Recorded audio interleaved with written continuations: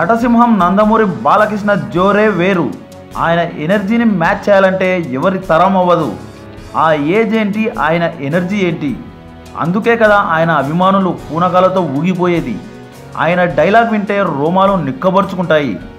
ప్రస్తుతం ఆయన hat trick blockbusters తర్వాత NBK one not nine working టైటిల్తో బాబీ డైరెక్షన్లో సినిమా చేస్తున్నారు.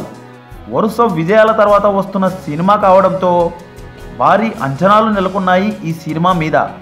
ఈ మూవీ గురించి ఏ అప్డేట్ వచ్చినా ప్రేక్షకులు తెలుసుకోవటానికి ఆరాటపడుతున్నారు. ఆ ఆరాటం చూస్తుంటే తెలుస్తోంది ఈ సినిమాపై హోప్స్ ఎలా ఉన్నాయి అనేది. ఈసారి ఫస్ట్ డే కలెక్షన్స్లో వంద కోట్ల గ్రాస్ రావడం పక్కా అనిపిస్తుంది. ఈ మూవీపై ఆల్రెడీ సినిమా టీం రెండు పోస్టర్స్ రిలీజ్ చేసింది. ఆ పోస్టర్స్లో మొదటిది ఒక బాక్స్లో గన్ను గొడ్డలి డబ్బులు మందుబాటిలు బుల్లెట్లు ఉన్నాయి. రెండో పోస్టర్లో గొడ్డలికి కళ్ళజోడు దేవుడు తాయెత్తు పెట్టారు. కళ్ళజోడులో ఎవరినో నరుకుతున్నట్లు ఇమేజ్ కనిపిస్తుంది. మళ్ళీ ఇప్పుడు కొత్తగా కొన్ని ఫోటోలు ఇంటర్నెట్లో వైరల్ అవుతున్నాయి. ఆ ఫోటోలు చూస్తుంటే బాలయ్య బాబు సినిమాల్లో ఒక కొత్త రకమైన సినిమా చూడబోతున్నాము అని అర్థమవుతుంది.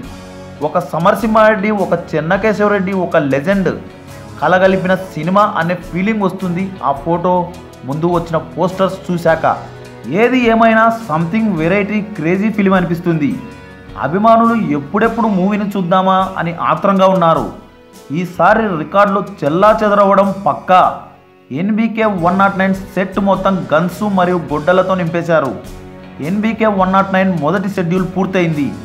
సెకండ్ షెడ్యూల్లో భాగంగా ఊటీలో షూటింగ్ జరుపుకుంటుంది.